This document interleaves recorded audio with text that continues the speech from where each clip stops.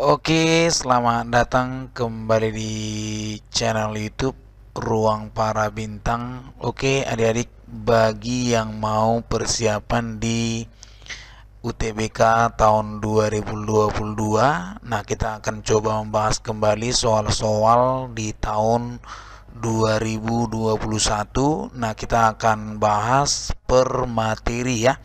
Nah, kita akan kupas tuntas semuanya di channel ini. Sebelumnya jangan lupa subscribe channel YouTube Ruang Para Bintang.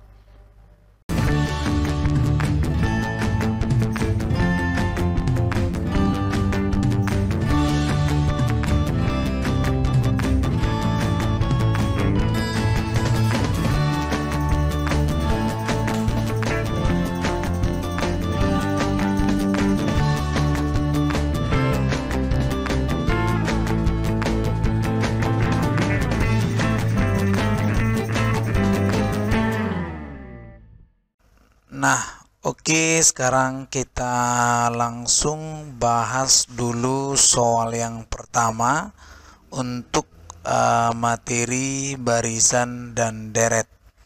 Nah, diketahui fungsi kuadrat fx sama dengan x kuadrat ditambah 2a kurang 3x dikurang 3a dengan fm dan sama dengan Fn sama dengan 0 jika 5M tambah N 4 per 3 Mn 4N kurang 1 membentuk barisan aritmatika maka nilai 2A ditambah 1 sama dengan 3, 5, 9, 13, 15 Nah, oke, okay, sekarang kita akan coba jawab ya.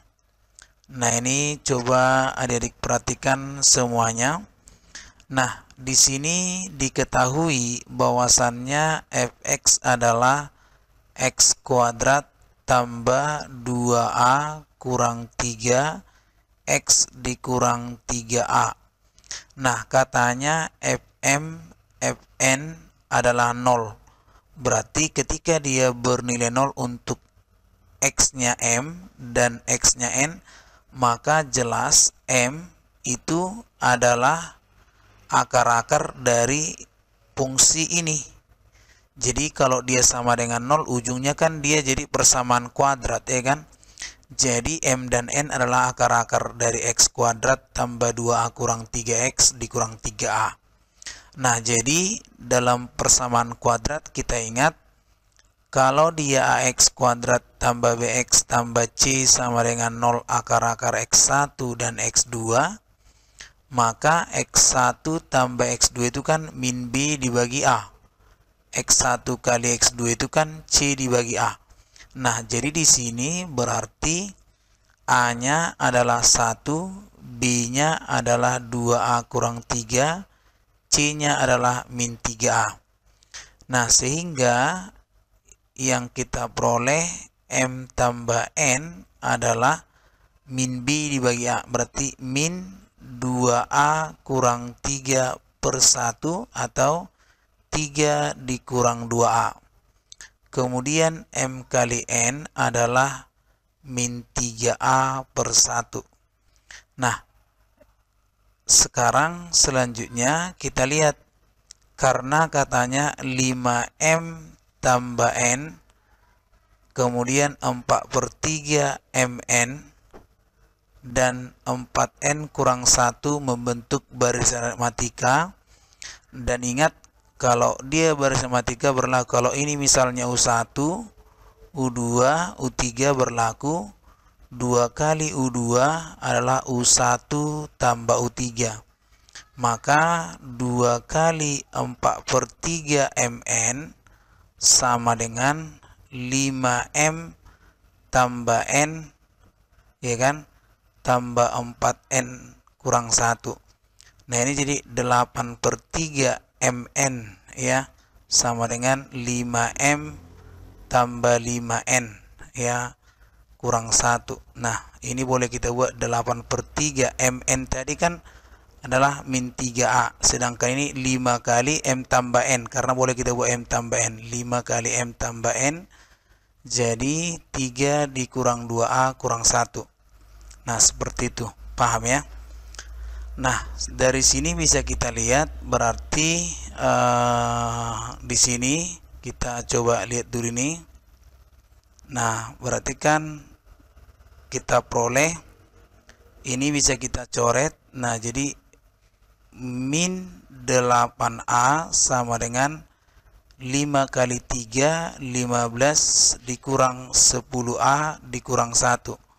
Nah, jadinya uh, kita geser kemari 2A sama dengan ya kan 2A berarti 14 ya berarti 2A nya adalah 14 atau A nya berarti 7 nah yang ditanya adalah 2A tambah 1 14 tambah 1 adalah 15 jadi jawabannya adalah E Oke, nah jadi demikian uh, untuk penyelesaian soal ini mudah-mudahan bisa dikuasai.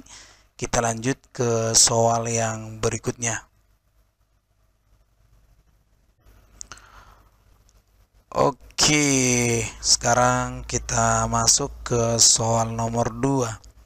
Diketahui barisan aritmatika 2, 4, 6, maka pernyataan yang benar 1 Suku ke-6 lebih besar dari 10. 2. Hasil kali suku ke-7 dan suku ke-20 adalah bilangan ganjil. 3. Jumlah N suku pertama dapat berupa bilangan genap. 4. Ti tidak ada suku yang merupakan jumlah dua suku yang berurutan. Nah, oke, okay, kita akan coba jawab lihat di sini ya. Nah ini Oke Nah Ini adalah 2 4 6 Ya kan Berarti bisa kita buat dari sini A nya adalah 2 B nya adalah 2 Nah untuk rumus UN itu kan adalah A tambah N kurang 1 kali B. Nah jadi kita lihat dulu. Nah di sini suku ke-6 lebih besar dari 10 katanya yang pertama. U6 ya U6 adalah A tambah 5B berarti 2 tambah 5 kali 2 nah hasilnya adalah 12 nah jadi suku ke-6 lebih besar dari 10 12 berarti 12 lebih besar dari 10 benar oke? Okay? paham ya? Kemudian nomor satu sudah benar ya kan? Berarti ini uh, salah ya kan? Uh, mungkin ya mungkin. Karena sini satunya benar ya kan uh, di sini empat saja kata ini nggak mungkin juga ya kan tapi kita lihat juga lah. Nomor dua. Nah nomor duanya. Hasil kali suku ketujuh dan suku ke puluh adalah bilangan ganjil. Oke U 7 adalah A tambah 6B 2 tambah 6 kali 2 adalah 14 U20 A tambah 19B 2 tambah 19 kali 2 berarti 40 Nah jadi di sini 14 Nah berarti kan kita kalikan. U7 kali U20 adalah berarti 14 kali 40 nah di sini adalah 560 berarti ini adalah genap. Nah katanya gan ganjil berarti ini salah nah jadi ini jelas salah ya kan? Ini salah ini ini salah. Nah dari sini nomor 3 nomor 3 kita tes. Jumlah suku per, jumlah n suku pertama dapat berupa bilangan genap. Nah dapat berupa bilangan genap. Jadi kalau misalnya s s uh, eh, SN maksudnya SN itu kan rumusnya kan ada. Jadi kalau kita buat misalnya S1 berarti S1 aja udah 2 S2 2 tambah 2 tambah eh 1 2 tambah 4 berarti 6 jadi dia berupa bilangan genap. Iya benar ya kan? Nah dapat berupa berarti bisa juga enggak? Nah ini bisa memang sudah. Itu S2 nah jadi yang tepat dari sini sudah jelas adalah bo bola 1 dan 3 Nah, jadi seperti itulah caranya. Mudah-mudahan bisa dipahami untuk adik-adik kami. Kita lanjut di soal nomor 3. Oke, sekarang kita lanjut di soal berikutnya ya. Suatu barisan aritmatika di mana diketahui U1 tambah U2 tambah U tambah U3 tambah U11 tambah U12 sama dengan 3 dan U5 tambah U7 sama dengan 1 maka nilai U 2021 adalah min 2021 per 2 min 1005 min 1007 min 1008 min 1009 nah oke okay, sekarang kita akan coba jawab ya. Nah di sini katanya U1 tambah U2 sampai dia U11 tambah U12 itu katanya 3 ini artinya S12 ya S12 adalah 3 rumusnya Sn itu kan eh, N per 2 kali 2A tambah N kurang 1 kali B. Sehingga di sini bisa kita buat ya eh, N per 2 S12 ya berarti N, eh, 12 bagi 2 2A tambah 11B sama dengan 3 Nah ini kan 6 berarti 2A tambah 11B sama dengan setengah.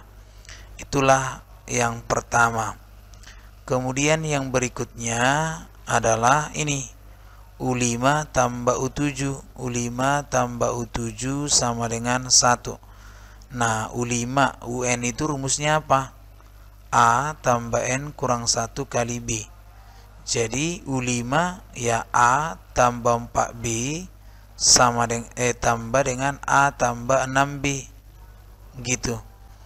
Nah jadi 2A tambah 10B sama dengan 1 nah inilah persamaan kedua. Nah jadi adik-adik langsung kita eliminasi aja.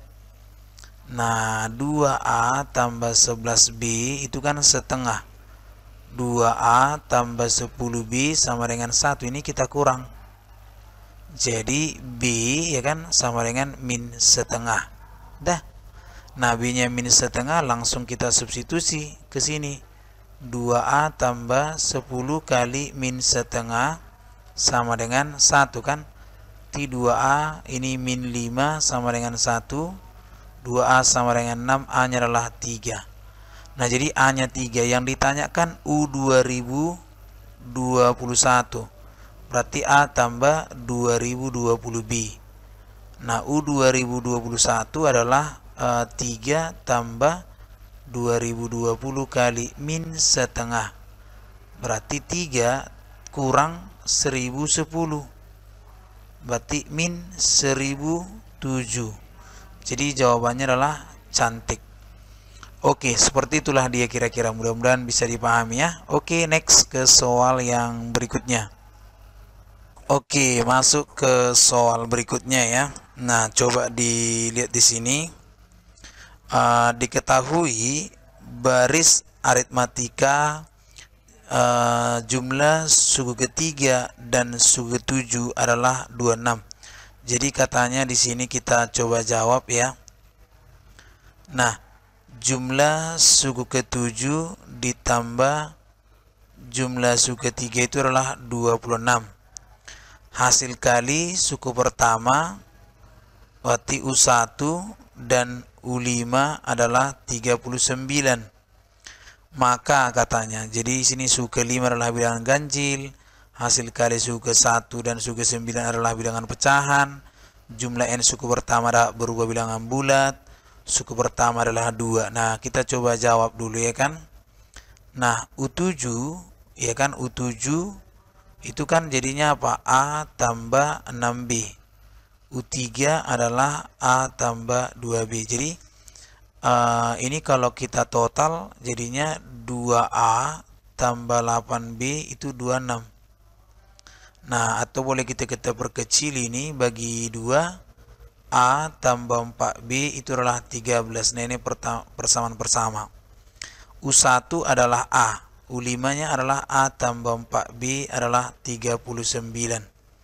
Nah, jadi ini kan A tambah 4B 13. Jadi A kali 13 sama dengan 39. Jadi A-nya 39 per 13, eh, per 13, A-nya 3.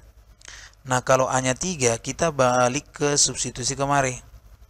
A tambah 4B tadi kan 13. Kalau ini 3 tambah 4B sama dengan 13 berarti 4B nya 10 berarti B nya adalah 5 per 2 nah jadi B nya adalah 5 per 2 A nya 3 nah katanya su kelima adalah bilangan ganjil. Berarti kita buat dulu yang pertama. U5 berarti A tambah 4B ya kan? Nah jadi A 3 tambah 4 kali 5 per 2 Nah, 3 ini kan jadi ke sini 2 ya. 2 kali 5 10 berarti 13. Iya, betul. Ganjil, benar. Oke, satu benar ya kan. Kemudian yang berikutnya nomor 2. Hasil kali suku pertama dan ke-9 adalah bilangan pecahan.